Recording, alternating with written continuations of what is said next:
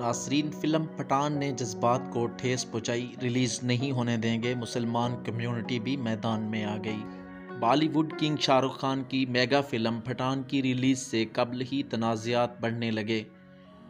पठान का पहला गाना रिलीज़ होते ही फ़िल्म को सख्त तनकीद का सामना है। दीपिका पेडोकोन के ज़फ़रानी रंग के लिबास पर हिंदू इंतहा पसंद सीख पा हैं और वो बाइकाट का मुतालबा कर रहे हैं। दूसरी तरफ़ मध्य प्रदेश ओलमा बोर्ड के सदर सैयद अनस अली ने भारतीय मीडिया से गुफ्तु करते हुए कहा है कि फ़िल्म ने मुसलमान कम्युनिटी के जज्बात को भी ठेस पहुँचाई है। उन्होंने कहा कि हम इस फ़िल्म को मध्य प्रदेश और बल्कि पूरे मुल्क में रिलीज़ नहीं होने देंगे।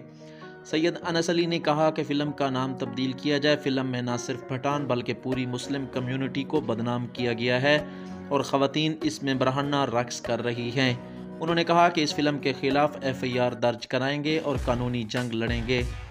मज़ीद लेटेस्ट अपडेट्स के लिए हमारे चैनल को सब्सक्राइब कीजिएगा। शुक्रिया। अल्लाह हाफिज़।